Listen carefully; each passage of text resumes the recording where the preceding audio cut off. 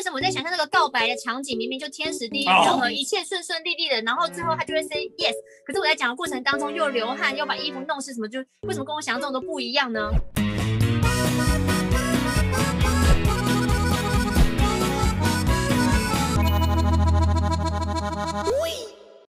姐妹花朋友们，大家好，欢迎来到今天的男女有事吗？我是马克。怎么今天那么 man 啊？我是玛丽。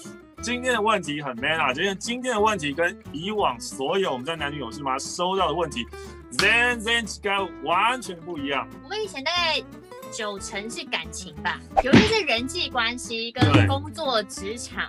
今天这个呢，他一开始就说了，今天问的问题应该不符合贵节目的主旨啊，但还是希望问个解答。我身为足球爱好者，嗯我非常重视基本动作，嗯，我不不仅时常练习，在受伤前，假日都会跑去街场踢野球，街场是什么？就是街头篮球嘛，它是街头足球这样子。哦，会跟朋友一起练习，踢完之后，我都会反省自己在场上犯了什么样的错误，同时也会反思啊，嗯为什么我在练习的时候做得出来的动作，嗯但我在场上却常常做不出来，或是做不好呢？嗯，很棒啊。不就是一个会自省的人吗？哦哦哦，就跟歌手他去比赛，为什么我在家我在练习都可以那些音可以转的很好，可以唱得到？为什么正式比赛我都唱不好？哎呦。为什么呢？我在家里面的简报我已经做了很好，可是最后呢，要跟老板提或者跟客户提的时候，却还是被打枪。为什么我在想象那个告白的场景，明明就天时地利哦人和，一切顺顺利利的，然后最后他就会 say yes，可是我在讲的过程当中又流汗，又把衣服弄湿，什么就为什么跟我想象中都不一样呢？你现在听我们举了这么多例子之后，你应该自己有一个答案了吧？什么答案？那就是你练习不足啊。哦，对啊，所以我们才需要靠这个反省，就是一直让自己变得越来越往自己理想中的样子迈进。对，就是我们在想的时候，常常一是把练习这件事情，就是我学会这件事情，想的太简单了。但你的会可能只是在非常非常粗浅的会，就真正的会呢，还有很多层在很上面。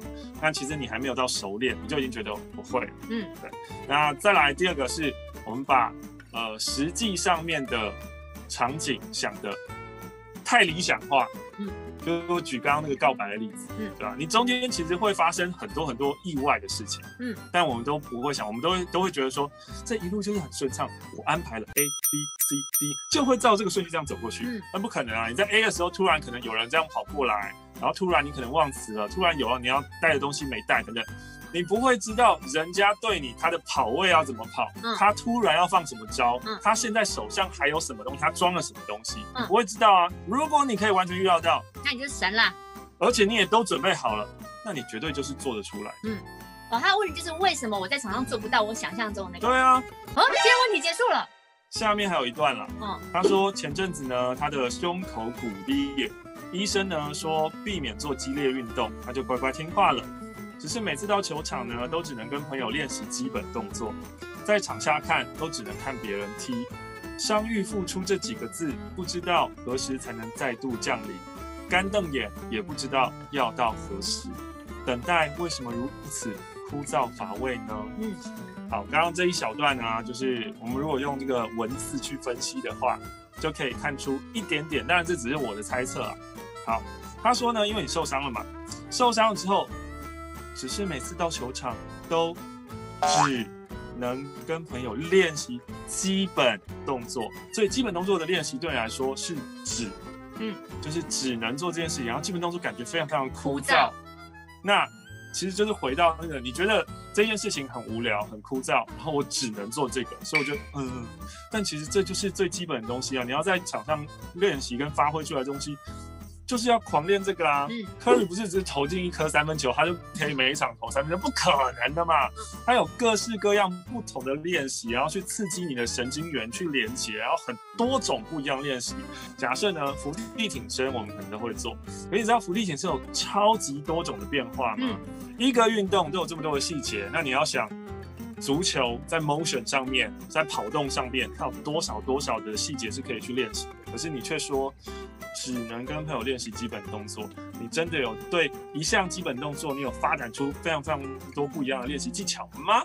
不知道为啥他说等待难道就是这么枯燥乏味吗？让我想到前几天你又聊聊到健身，我就看到那个筋肉妈妈的发文，嗯就是筋肉妈妈她最近有时候她会在写她的心路历程啊，因为肌肉妈妈就是一个呃健身健美的女性，然后她的老公就叫肌肉爸爸，然后一样也是健身健美的男性，然后呢，可是前几年肌肉爸爸因为中风，所以他的呃身体他的神经连接就是受受损了嘛，所以这几年他就是要好好的复健，就也只能专心复健，因为其实他也有说，当你康复之后，尤其他是个职场，要让这身体你要完全的回归到工作，其实是很难的一件事情。那我的先生部就好好的专心做复健，也不要想其他的事情。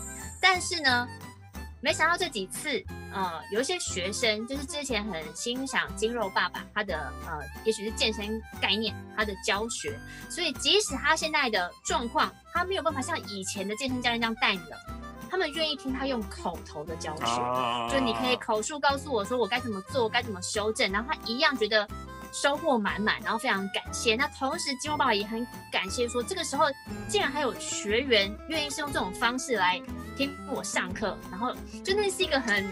他也是在一个附件，他也是在一个等待的过程。可是，在这个过程当中，你会发生很多你意想不到的事情。嗯可是你就是好好专注，持续做你现在能做的事情。嗯嗯嗯，还有一样受伤的时候呢，就以前在运动的时候，都会教练教练都会说，脚受伤哦，脚上练手啊，嗯。手受伤哦，手上练脚啊，嗯。手跟脚都受伤哦，练脑子啊，嗯，对吧？就是练你的意念，练你的意识，练你的大局观。最后呢，他说期许自己可以赶快找到工作，然后回球场上与队友继续奋斗。